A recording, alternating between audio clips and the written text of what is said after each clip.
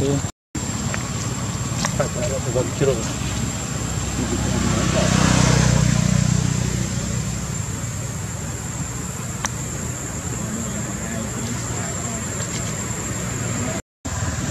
thế gì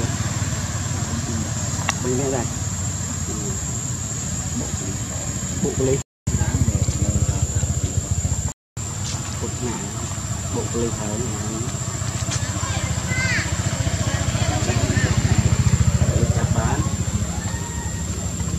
Cược này